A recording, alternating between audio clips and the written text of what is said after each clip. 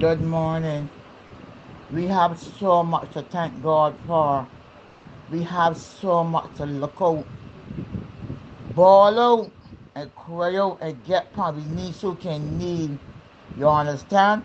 And call out upon the Almighty Father because His wife, if that thing can ever hit here willful, it won't be a Barbados. You understand?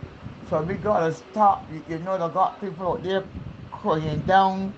They are, uh, um, because of this body and that body is man is not mankind.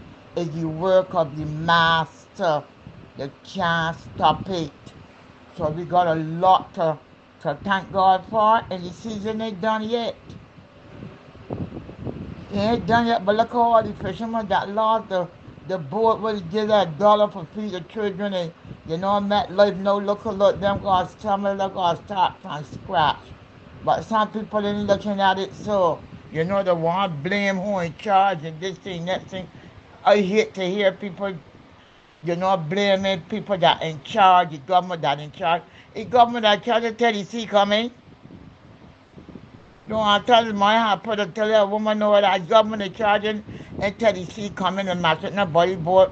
But when you're too, when you're backward, is it, it, you know, when you're too backward, you went school uh, at, at a school, but you went school with a bucket that ain't got no bottom, and all the all the sense run out.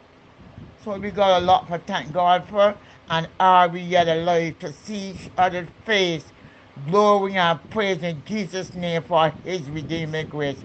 Share, have do have a blessed day, and continue with your work. May God continue to bless you, protect you in your in and your out.